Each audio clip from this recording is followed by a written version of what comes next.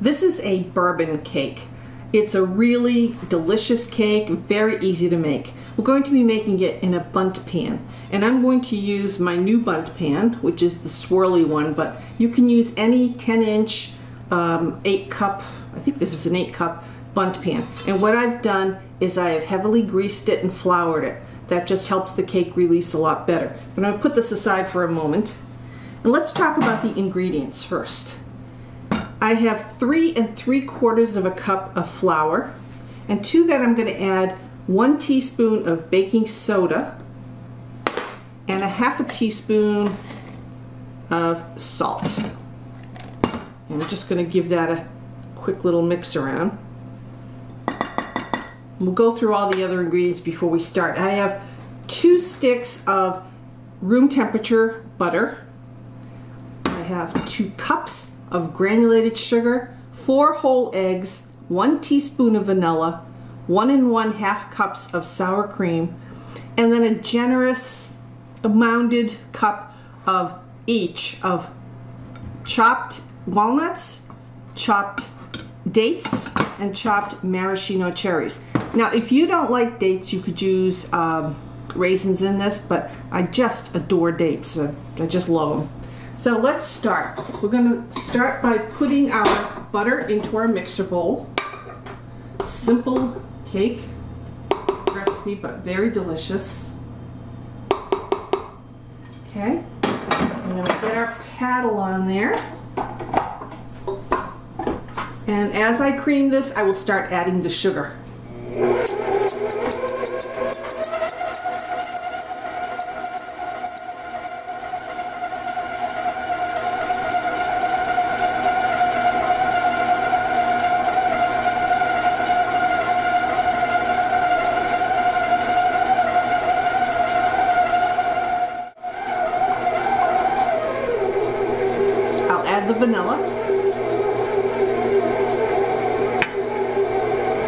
Then I'll start adding the eggs.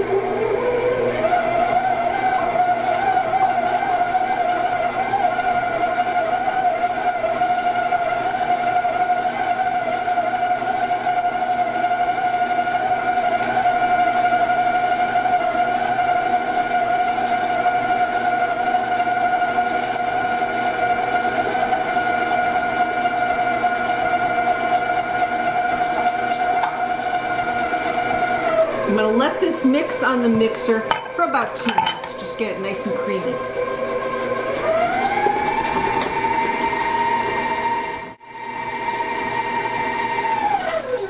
Okay, now I'm going to add uh, about half of the flour. But just be careful when you turn the mixer on that you don't turn it on too high now because then you'll get a dust storm. So I'm going to put it on really low.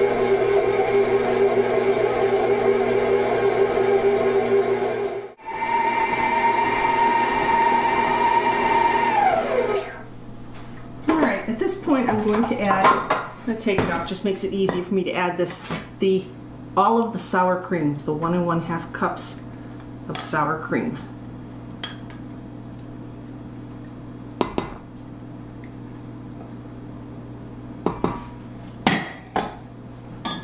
Put that back on the mixer and get that mixed well.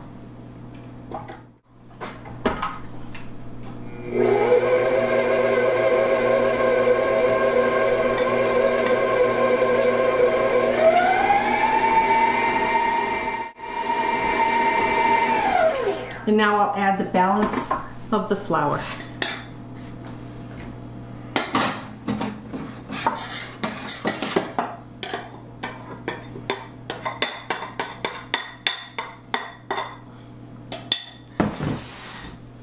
And again, start it off slow.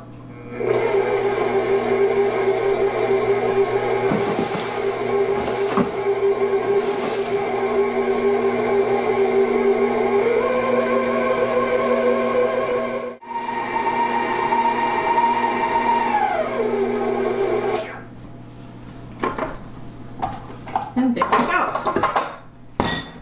Now we can get rid of our paddle. And my oven is on at 350 degrees.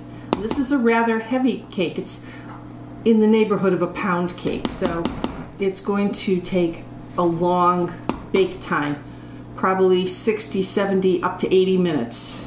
But I think the last time I made this, it took about an hour and 20. So just be prepared that it might take a little bit longer.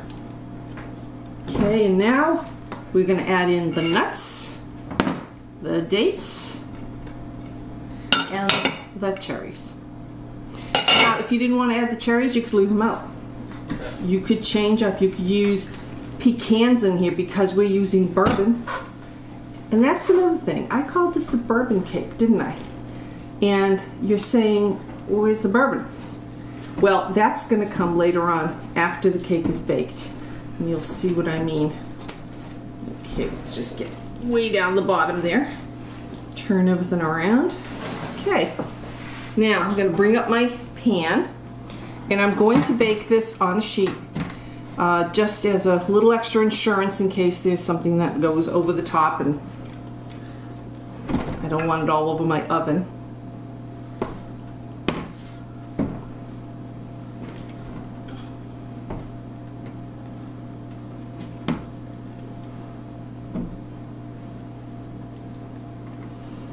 If you happen to be using a smaller pan and you have some left over, that's okay. You can do this, you can take the remainder of it and bake it in cupcake pan or if you have one of those small tiny loaf pans.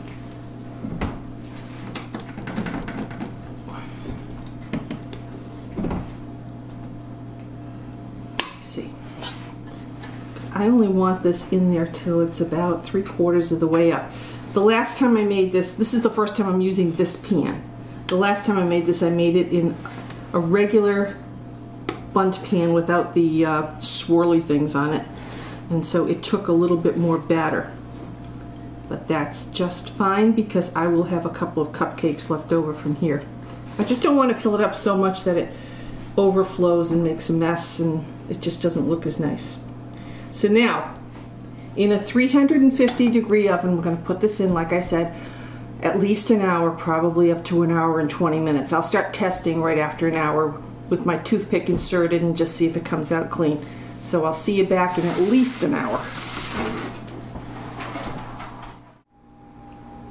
Here's our cake out of the oven. It's still very, very hot, but this is exactly the way we want it to finish it off. It was in the oven an hour and 18 minutes, so it depends when it skewer went in and it came out clean, it was done. What I'm going to do is I'm going to make a few holes in the cake, here and there, with the skewer.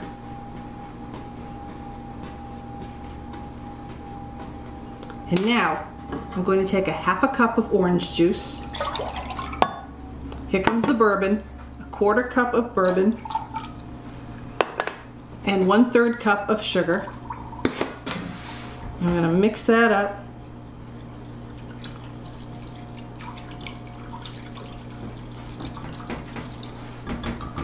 Now I'm going to pour it over the cake while the cake is really still warm because this is the time it will absorb all of it.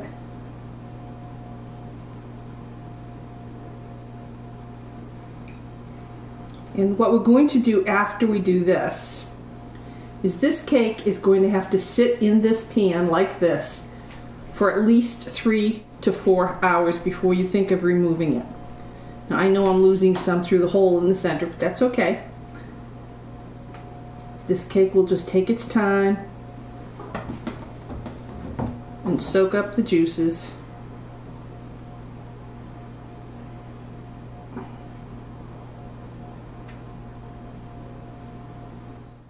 Okay, I'll see you back in about three or four hours when we take the cake out of the pan. Our cake's been sitting around for a few hours now. Time to take it out of the pan. What I did is I took a um, thin bladed knife and I just ran it around the edges a little bit to give myself a, a little bit of a guarantee that it's going to come out okay. And I just turn this over.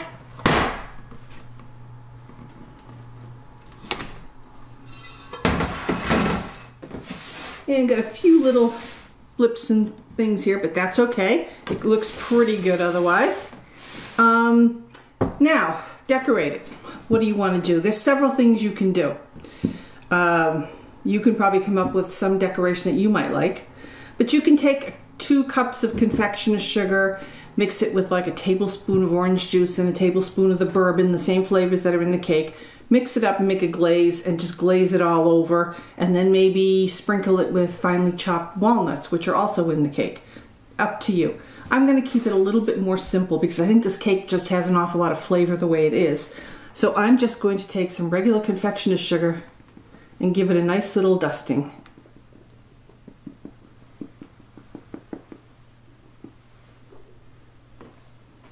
And there is my bourbon cake.